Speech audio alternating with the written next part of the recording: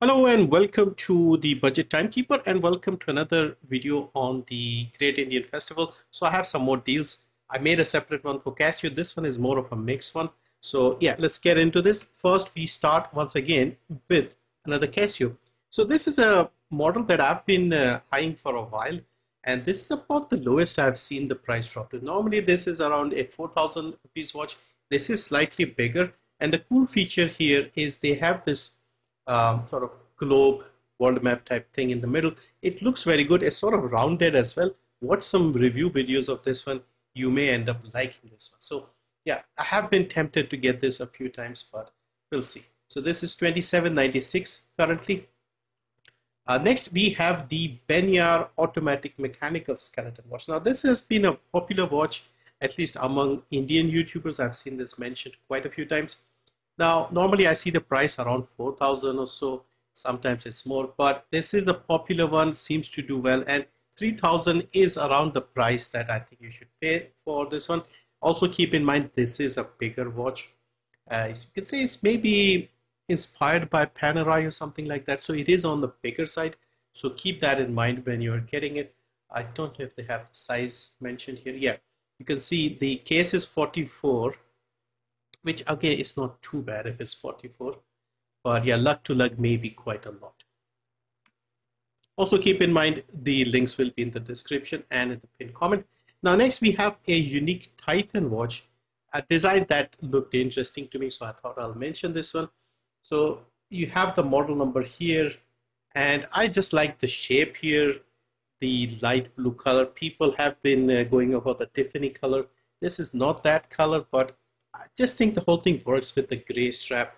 It looks nice. Normally, I see this for around five, maybe four and a half, something like that. So 3,900, it's a not bad deal. I would like to see a bigger sale, but I don't know if there are too many of these available and how low it goes. But yeah, it's an interesting design if you are uh, looking for something different. Next, we have a Skmei watch. So I have used a couple of watches from this brand and I like them overall. I've also seen a bunch of reviews online from other budget watch channels and stuff, and most of them like the brand and they have recommended the brand as like a good cheap brand. Quality is decent, they are durable.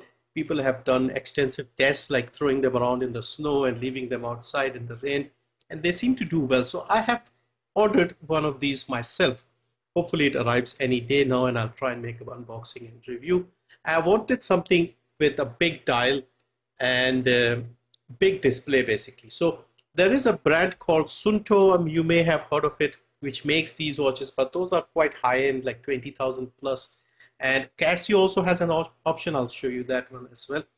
But for 500, I thought, why not? Let's give it a try. What's the worst that can happen? I was thinking of getting a strap for myself, but I thought I can get a full watch for 500. So yeah, I'll uh, try and make a review when this arrives, but it's 500 right now. Nice big display. I'm not too confident about the negative display, but we shall see. It has backlighting as you can see in some of the pictures. This one is what I really wanted, but this one seems to be out of stock. And you can see the price is a little all over the place. This one is 575. This one is 639. I like this blue one with the blue ring and this one. So I went with this one for myself. Normally I've seen the price around 700 um, don't believe the 2800 they show here. I've seen this for 700 because I have had this on my wish list for a while. And this is the lowest it has gone. So 500 I think is pretty good.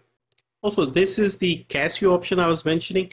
Not quite the same, but at least it has like a positive display and a few nice features. But keep in mind, this is also a large watch. So may not work for you, but I don't know if you have used uh, smartwatches, I think you can go with this illuminator, nice clear display, 10 year battery. But of course, this is two and a half thousand, not on sale. I thought I'll mention this if anybody's interested. But yeah, this is the watch that inspired me to get that Skmei watch. Next, I have some uh, deals on boxes for storage and a few other things. So we have the Leather World box. These are good. They have good reviews. I have this one, not exactly this one, but from this brand, I have a four watch slot and I find it to be really good. There's also the option of a non-window one, so you can go for that. But six six slots for 569 I think is a reasonable compromise in terms of uh, space and quality because if you go too cheap the quality isn't satisfying and yeah you need a decent number of watches again four might be not enough six is not bad if you want something bigger there's also the eight no this is a 10 watch box so you can get this for 800 again reasonable compromise. These are also popular 4.4 uh, rating. So these are decent quality. And if you want even bigger you have this one here with 18 watch slots. I think this is maybe too much for me personally. I don't like huge boxes with like 8 up to 8 seems good for me anymore I would rather have two boxes of 6 or three boxes of 6 each instead of one giant 18 but I may try to get one of these just to test them out. So this one is 1371 with a 73% discount apparently 4.2 rating so this is good again. Now next I wanted to mention the screen guard for one of the popular series of watches the Casio F91 158 I have this screen uh, guard in fact this exact one you get a pack of three for 150 and you can use these on A158 uh, F91 and I've also put this on my W217 although it is a little small on that one but it still mostly covers the screen area. This is a perfect fit for A158 and F91 and maybe the A168. I don't have an A168 so I can't say for sure but for my F91 and A158 this is a perfect fit. In fact if you get it right you won't even notice it's there. And these as you know these watches have acrylic crystals so basically they get scratched very easily. So something like this will just keep the ski, uh, screen clean and clear for longer. So 150 for this one.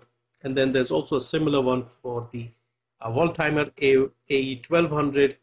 Uh, you can use this with WS1600 and AE1300 because they have the same case. So I think this should work. And this is a set of five of these for this model, this uh, design. So yeah, that's it for this one. Hopefully you find something useful and thank you for watching. See you next time.